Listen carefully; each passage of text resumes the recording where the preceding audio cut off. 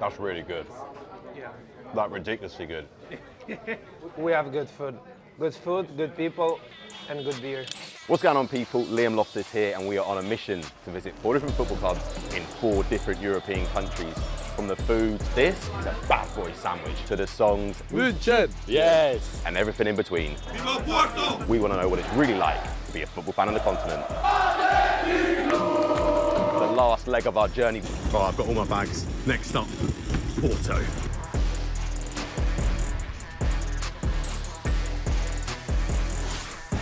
Another night under the lights. Champions League football is back, baby.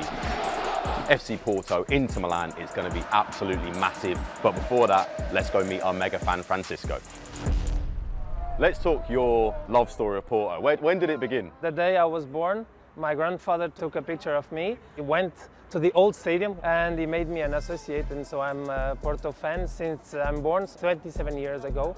The family love for Porto, is it generational? Your dad, your granddad, Yeah. like on and on. It's funny you mention my dad because my dad he wasn't a Porto fan, and when he decided to marry my mom, my grandfather had only one condition: he, he had to be a Porto fan as well. Now he's probably the biggest fan, the one that suffered the most with the matches. So Obviously, with big love, I know comes high expectations for Yeah. Porto fans. we can win like all the cups. But if we don't win the Champions League or the, the league, for us it's uh, it's a bad season. Not worth getting out of bed for if it's not the Champions League no, or the league. no, we're not gonna go outside and party for just some cup or some league cup or no. That's that's mandatory. What should I expect? What are Porto fans like? They're gonna sing for the 90 minutes.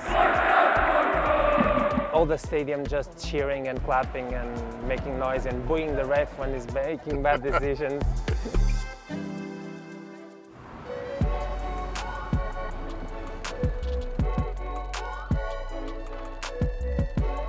Is it just a hot dog? You just call it a hot dog here? Yeah, yeah. It's crunchy bread, and then it's cheese and like a spicy sausage. I was watching it, they were doing it like we'd say in England, like a toasty. Mmm.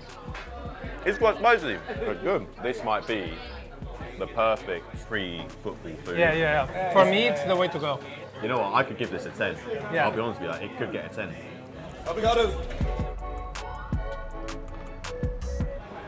Francisco, you're still in my heart. Another sandwich, more chips. We have inside is more cheese, different types of meat. The special thing about the francesinha is it's the sauce. It's not just tomato soup. No, no, no. There's wine, there's beer, there's scotch, there's shrimp, there's meat, and then loads of more things that I have no idea what's inside. Look at the layers. You've got the egg, you've got the bread, four meats in there, cheese as well, and the bottom bread. This almost reminds you of something you'd have after Christmas, you know, with like all your leftovers. How do I say it? Francesinha. Francesinha. Francesinha.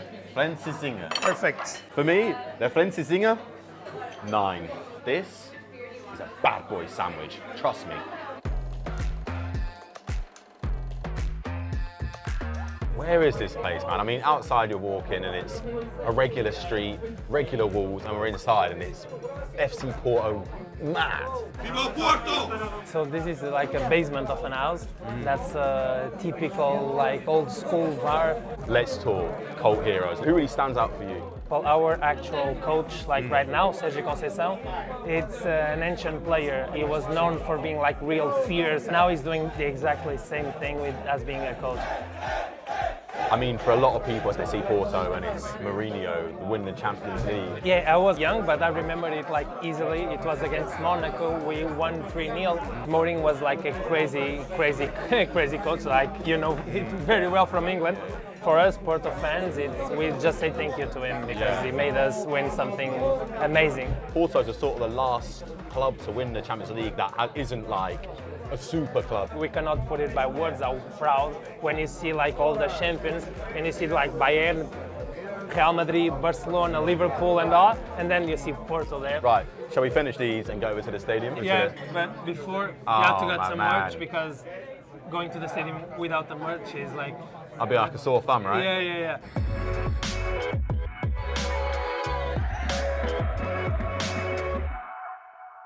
We're at the ground, there's people everywhere. I mean, This is crazy stuff. I need to learn a song, bro. I'll teach you like uh, the song that I hope that we're gonna sing it like multiple times today. That after we score a goal, oh, mágico Porto, graças a Deus não nasci lampião.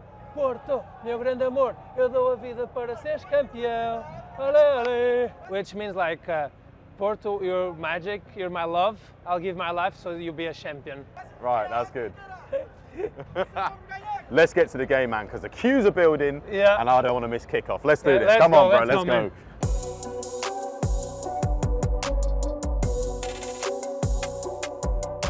Inter Milan go through. That's tough to take, yeah? Yeah, especially when you see like a big team as Inter Milan didn't want to play and just waste time. Let's talk Porto fans though. Didn't stop singing. I mean, they waited 10 minutes after the game to applaud the players. Yeah. We sang for 90 minutes as I promised. Francisco, thank you very much for having me. My pleasure, man. It's been an absolute honour to get to know your club, to get to know your city.